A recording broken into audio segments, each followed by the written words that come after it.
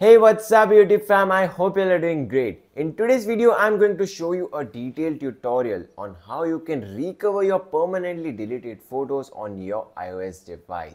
Yes that's right I recovered my permanently deleted photos using this app which is Photos Recovery and as you can see this icon looks quite similar to the photos one and when I click on this icon so you can see within just one click by clicking on this recover plus plus I can recover my permanently deleted photos within just one click. And as you can see the process is quite simple and I'll show you a detailed tutorial on how you can install this app and what are the requirements to install this app. So make sure you watch the video till the end. So this is the Photos Recovery mod application which looks quite similar to the Photos application which will help you to recover your permanently deleted photos and as you can see both the icons look quite similar. And now let's have a look on how you can recover your permanently deleted photos using this Photos Recovery app. So when you click on the app, its interface is quite similar to the Photos one but there's this one thing that they have given this recover plus plus option to recover your permanently deleted photos. And within just one click, you can recover your permanently deleted photos and as you can see I have recovered all my photos in my gallery. Now let's see the setup on how you can install this photos recovery mod application. So first you have to go to settings. Then you have to go all the way down to the battery section and make sure that low power mode should be off because if you may turn it on you may face trouble to install the application. Now go back to settings and click on general section. There you will find an option which says background app refresh. You have to click on that and make sure that it is on either on Wi-Fi mode or on Wi-Fi and cellular mode.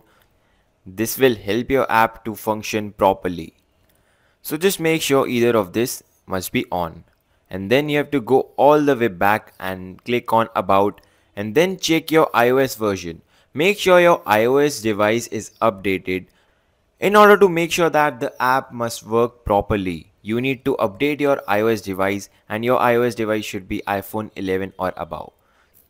Talking about the use case of app, you can recover using this recover plus plus button and then you can see I have recovered all my photos just in one click. Now let's see how to install this application. So you can find this application on this website that is vipadder.com and you can download multiple mod applications and mod games as well using this website. I'll surely recommend you this website and I'll show you how you can install the application using this website which is vipadder.com. So this is the website which is vipadder.com and as you can see there are multiple applications and there is this search icon where I can search my app so let's search photos recovery mod application. And as you can see photos recovery plugin has appeared on screen.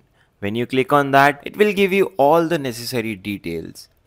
Every single detail has been mentioned the rating the size of the application number of downloads and who is the developer. Also this device is supported in ios as well as android devices.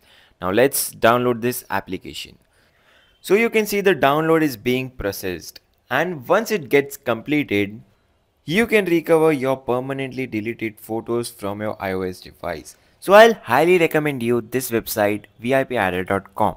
Thank you for watching the video. Goodbye.